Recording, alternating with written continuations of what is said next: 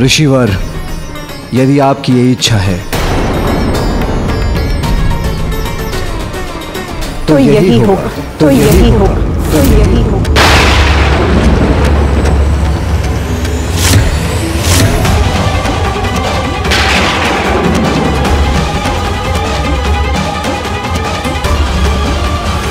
यदि ऐसा है तो आप किसी निर्जन स्थान पर वास क्यों नहीं करते?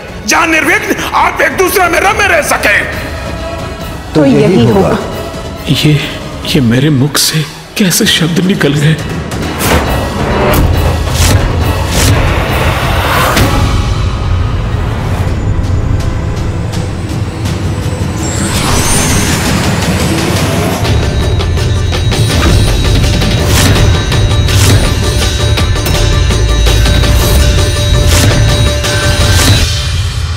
महादेव। माँ! पिताश्री! माँ! माता। माँ! पिताश्री! माँ पिताश्री आप ऐसे कैसे जा सकते हैं? ऋषि दुर्वासा के क्रोध के कारण ये कैसा अनर्थ हो गया? महादेव और माता दोनों कहाँ अंतर ध्यान हो गए?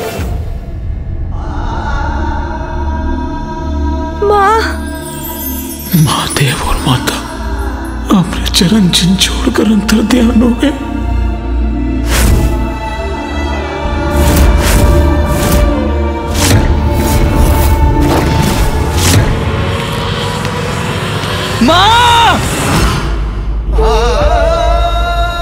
महादेव, माता पार्वती, ये कैसा अनर्थ हो गया? जिसका मुझे भय था वही हुआ। किंतु कहाँ जा सकते हैं महादेव? माँ पिताश्री आप ऐसे कैसे जा सकते हैं? माँ पिताश्री गणेश जी कुमार कार्तिकेय मैं भीतर जाकर देखता हूँ। हाँ हाँ नंदी जी जाइए जाइए।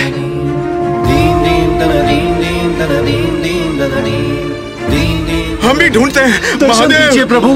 कहाँ चले गए आप? हमें छोड़कर दर्शन मत दीजिए जाइए प्रभु। हमें छोड़ के मत जाइए। कहाँ चले गए महादेव माता। महादेव। आज वसंतोत्सव के शुभ दिवस पर कैसा अनर्थ हो गया?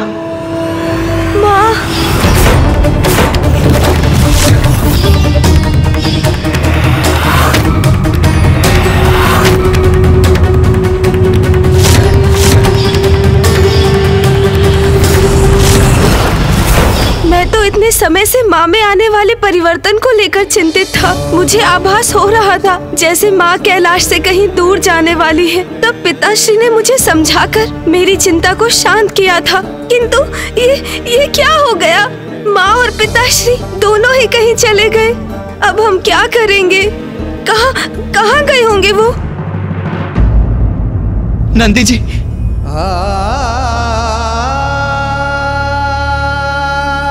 क्या हुआ नंदी महादेव माता भवन के भीतर नहीं है।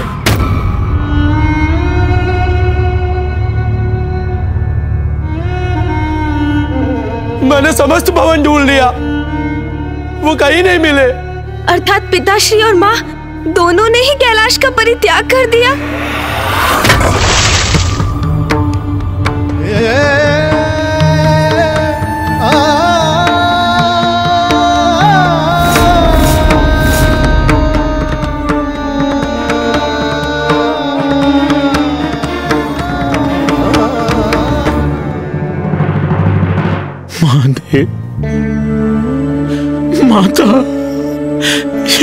कैसी भूल हो गई मुझसे।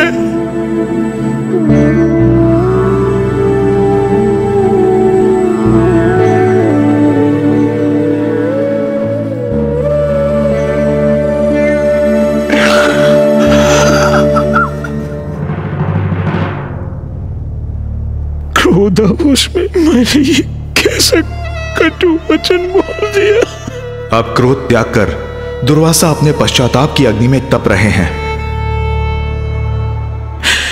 जिस भक्त के जीवा से ऐसे कठोर वचन सुनकर महादेव और माता को कैलाश त्याग के जाना पड़ा। उस वक्त को अब जीवित रहने का कोई अधिकार नहीं। मैं अब जीवित नहीं रहूँगा। मैं अपने प्राण त्याग दूँगा, अपने प्राण त्याग दूँगा, प्राण त्याग ऋषि दुर्वासा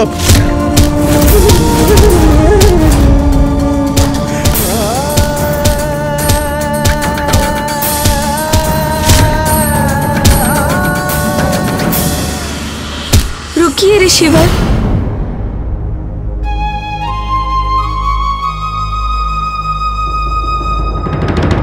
ये आप क्या कर रहे हैं ऋषिवर? कितना विशाल है गणेश का हृदय। अपने दुख को परे कर वो ऋषि दुर्वासा को सांत्वना दे रहा है। उनके दुख को शांत कर रहा है।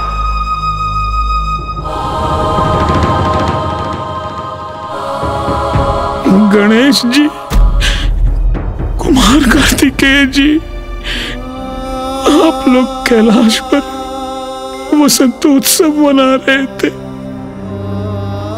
किंतु मैंने इस अनंतोत्सव को अवसर में परिवर्तित कर दिया। ये क्या कर दिया आपने ऋषिवर? आप जहाँ जाते हैं वहाँ कोई ना कोई अनर्थ अवश्य घटता है। क्रोधावश आप किसी को श्राप दे देते हैं अथवा आपके कठोर वचनों से कोई बड़ी घटना घट जाती है। ऋषिवर यदि मुझे धनिक भी आभास होता कि आप कैलाश की ओर निकल पड़ेंगे तो मैं आपसे कभी नहीं कहता कि हम कैलाश जा रहे हैं। मुझे जीवित रहने का कोई अधिकार नहीं। मैं अपने प्राण त्याग दूँगा गणेश जी अपने प्राण त्याग दूँगा। जो होना था वो हो चुका ऋषिवर। अब विलाप करने का कोई लाभ नहीं। अब तो इस स्थिति को सुधारने का एकमात्र उपाय है। ये ज्ञात करना कि पिताश्री और माँ कहाँ चले गए। गणेश जी उचित कह रहे हैं। यही उपाय है मेरी भूल के सुधार का। मेरे पश्चाताप का सभी ये मानते हैं कि ऋषि दुर्वासा की उपस्थिति से अवश्य कुछ घटित होता है। परंतु यह भी सत्य है कि उनके श्राप और कठोर वचनों में भी जगत कल्याण का कोई कारण छुपा होता है। मामा जी किंतु ये सत्य कैसे हो सकता है?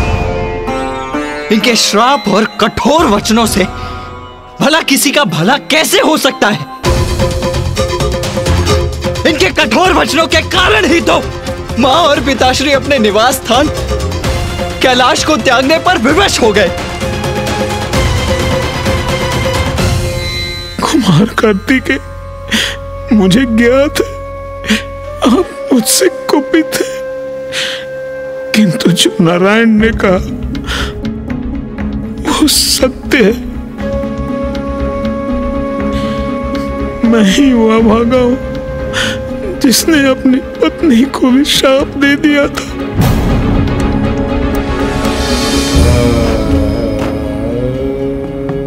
किंतु उसके परिणाम स्वरूप संसार का कल्याण ही हुआ था। आपने अपनी ही पत्नी को शाप दिया था और उससे संसार का कल्याण हुआ था। कैसे ऋषिवर? अनुज गणेश ये समय कथा सुनने का नहीं है। समय व्यर्थ करने के स्थान पर हमें माँ और पिताश्री को ढूंढना चाहिए। उन्हें कैलाश लौटाने का उपाय करना चाहिए। भैया, कदाचित इस कथा में ही हमारी समस्या के समाधान का कोई ना कोई उपाय छिपा होगा। हमें ज्ञात होगा कि ऋषिवर का क्रोध कल्याण कैसे करता है। संभव है इस कथा से हम समझ पाए कि आज जो भी हुआ, उसका कारण क्या था और माँ और पिताश्री कहाँ चले गए हैं। उचित है। कहिए ऋषिवर। मेरी पत्नी कदली महर्षि और की पुत्री थी, जो धर्म परायण और पतिव्रता स्त्री थी। यह तब की घटना है, जब मैं वन के मध्य में एक दिवस अपने तप स्थल पर जगत की समृद्धि और शांति के लिए यज्ञ कर रहा था। उसी अंतराल, मध्यान्ह में मैं विश्राम करने के लिए लेटा और निद्रा ने मुझे घेर लिया। घोर निद्रा के मध्य मेरी पत्नी कद्दी कब वहाँ आई मुझे ज्ञात ही नहीं हुआ। स्वामी की पूजा के लिए पुष्पादि ले आई हूँ मैं। उनके संध्या वंदन का समय होने ही वाला है।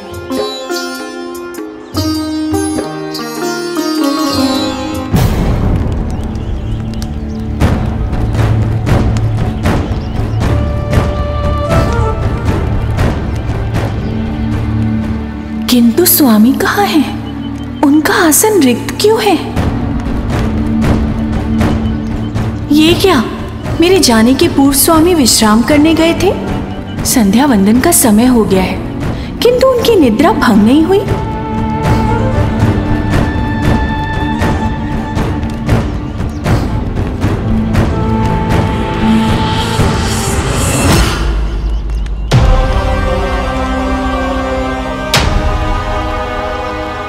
यदि मैंने अभी इन्हें इनकी निद्रा से नहीं उठाया तो स्वामी का संध्या वंदन नहीं हो पाएगा, जो अनुचित होगा और कदाचित जिसके कारण इनका क्रोध मुझ पर बरसेगा। किंतु कदाचित स्वामी की निद्रा भंग कर, उनके विश्राम में विराम डालने पर भी वो मुझसे क्रोधित होंगे। क्या करूँ मैं? स्वामी को उनकी निद्रा से उठाऊं अथवा नहीं?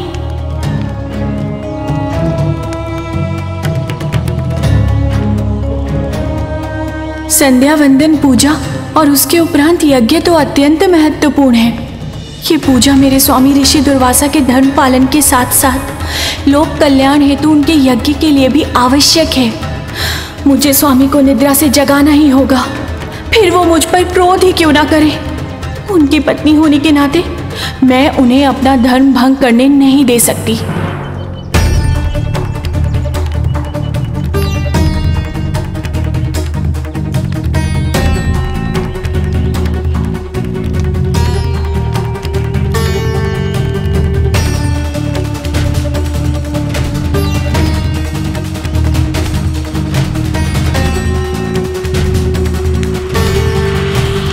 स्वामी। स्वामी, उठिए। उठिए स्वामी।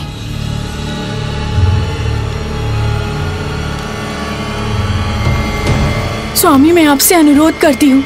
उठ जाइए स्वामी, उठ जाइए।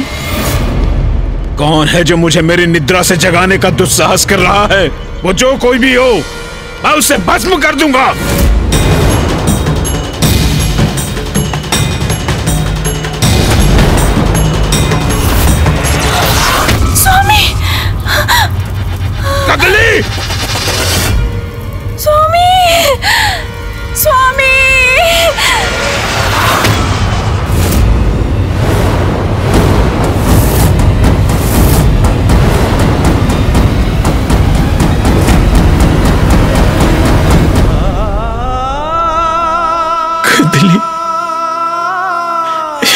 कैसा घोर अनर्थ हो गया कदली।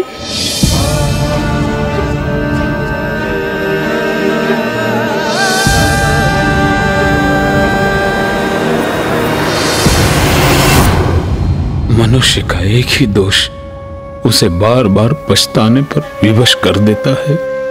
क्रोध में आकर मुझसे कितना बड़ा अपराध हुआ।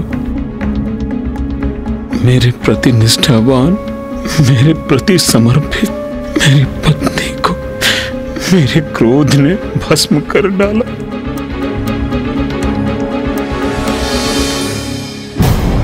ऋषिवर जो भी हुआ बहुत दुखद हुआ किंतु इसमें किसी का कल्याण कहा? गणेश जी ये समझने के लिए आपको पूरी कहानी सुननी पड़ेगी। अपने क्रोध के कारण अपनी पत्नी को खोकर मैं बहुत ही शोकाकुल था। और पुत्री पुत्री कदली।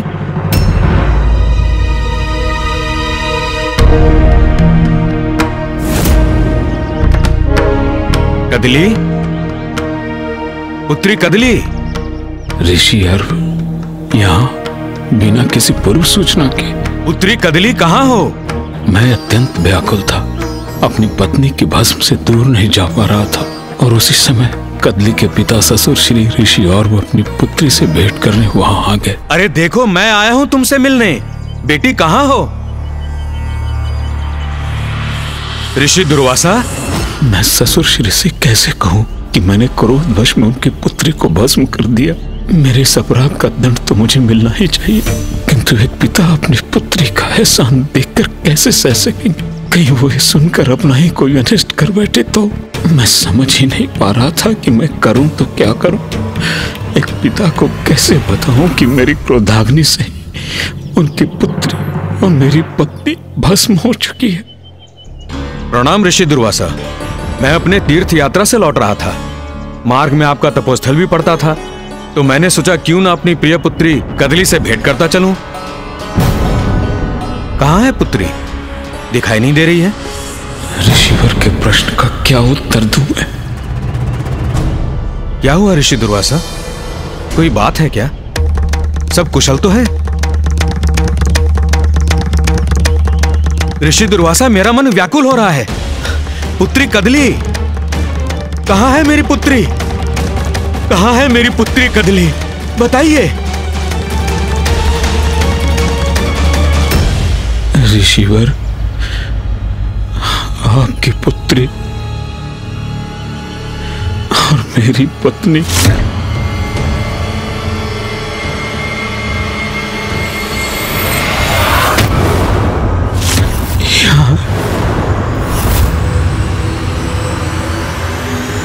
कदली यहाँ है?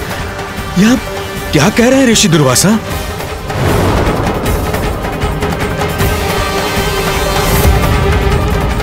ये ये भस्म अर्थात कदली नहीं। ऋषिवर मैं गहरी निद्रा में था।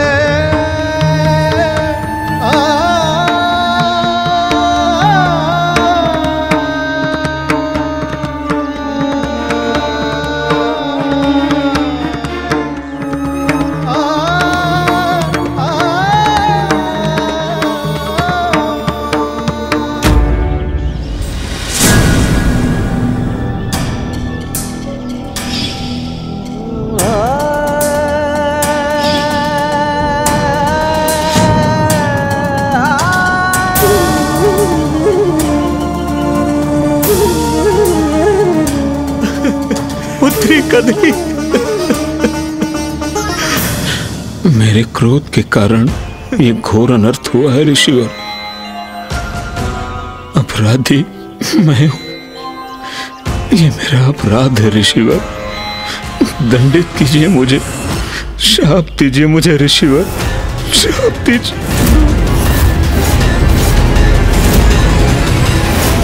शाप दीजिए मुझे ऋषिवर। मैं आपको शाप नहीं दूँगा, ऋषि दुर्वासा।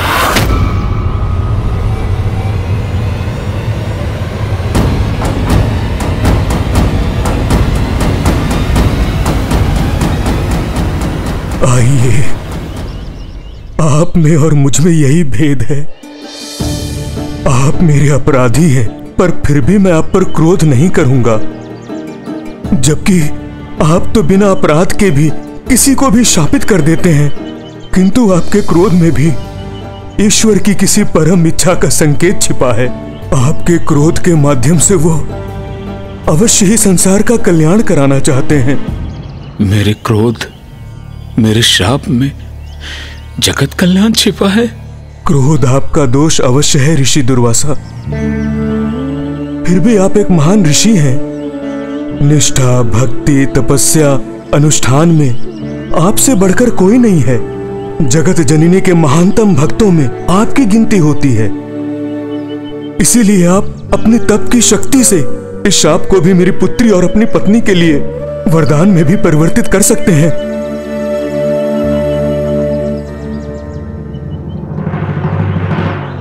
उचित है ऋषिवर।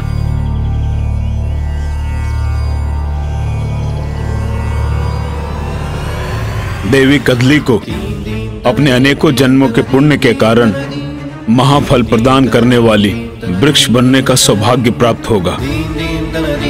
ऐसा फल जो प्रत्येक पूजा और यज्ञ का भाग बनेगा, जो समस्त जीवों को संपूर्ण पोषण देगा और ये मेरे वरदान के कारण होगा। देवी कदली, मैं तुम्हें वरदान देता हूँ। तुम कदली फल के वृक्ष के रूप में उत्पन्न होगी।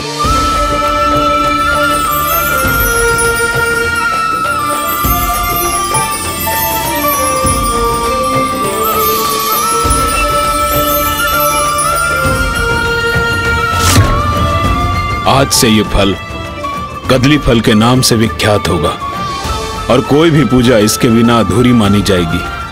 इतना ही नहीं, कदली फल समस्त मनुष्यों के लिए संपूर्ण भोजन बनेगा, जो सरलता से उपलब्ध होगा, और सभी के भूख को दूर कर त्वरित ऊर्जा प्रदान करेगा। ऋषिवर का शाप तो जग के लिए वरदान बन गया। जगत को एक ऐसा फल मिला, जो हर पूजा के लिए आवश्यक है। आशा है ऋषिवर के इस क्रोध का भी अब कोई ऐसा ही फल मिलने वाला है।